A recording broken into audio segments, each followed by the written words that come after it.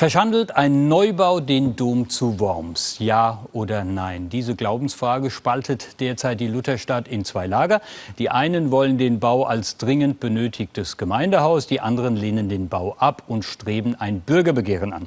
Heute nun hat die Dompfarrei mit einem Baustopp ein überraschendes Zeichen gesetzt. Der Streit, wie Edgar Verheyen berichtet, dürfte damit aber noch lange nicht beigelegt sein. Es ist ein stiller Protest, den Bürger aus Worms an jedem Sonntag zum Ausdruck bringen. Rund 80 Menschen demonstrieren gegen das geplante Gemeindehaus am Dom und das schon seit Wochen. Wir möchten diesen wunderbaren Blick auf das Südportal des Wormser Domes oder des Doms zu Worms erhalten wissen. Und wenn man wieder ein Haus vor den Dom setzt und den Leuten weiter den Blick auf den Dom verwehrt, dann muss ich sagen, dann würde ich am liebsten wegziehen aus Worms. Es geht um den Vorplatz des Domes, um die linke Seite vor der Nikolauskapelle. Das neue Gebäude, so die Kritiker, würde hier den Blick komplett versperren. Vor einer Woche Pfarrgemeinderatssitzung der Domgemeinde. Hierher kommen die Befürworter des Gemeindehauses und auch sie haben gute Argumente dafür. Wir brauchen ein Gemeindehaus unbedingt für unsere Gemeindearbeit. Wir schaffen auch zwei Plätze für die Stadt.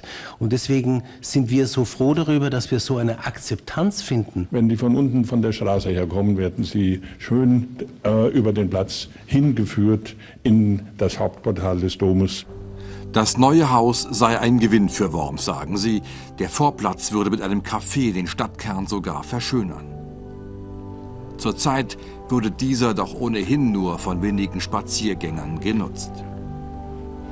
Im Übrigen, bis ins 19. Jahrhundert habe es hier eine Bebauung gegeben, daran könne man doch anknüpfen. Doch diese Argumente interessieren die Mitglieder der Bürgerinitiative nicht. Ihnen ist das neue Gebäude einfach viel zu gewaltig.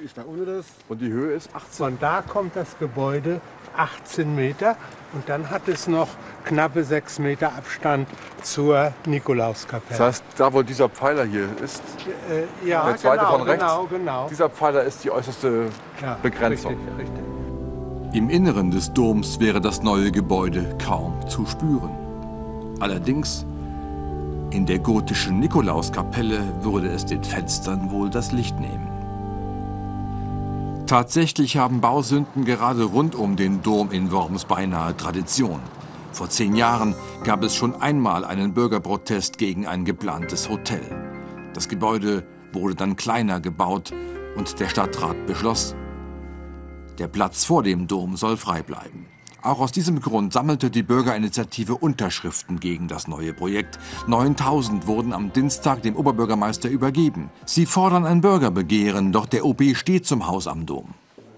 Ich glaube, dass das Haus am Dom eine Aufwertung der gesamten Situation bedeuten würde und den Dom in seiner Monumentalität geradezu betonen würde.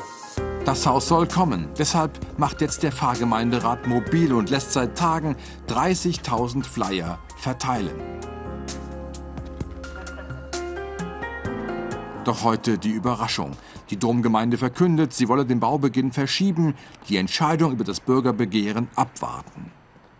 Wir haben intern auch kontrovers diskutiert, aber wir waren der Meinung, wir schaffen jetzt keine Fakten. Das heißt, im Moment wird sich hier nichts tun. Wir warten diese Entscheidung über die Zulässigkeit und nachher über den Bürgerentscheid ab. Doch ein endgültiger Baustopp ist das nicht. Es scheint vielmehr, als wolle die katholische Kirche keine weiteren Unruhen bei prestigeträchtigen Bauprojekten aufkommen lassen.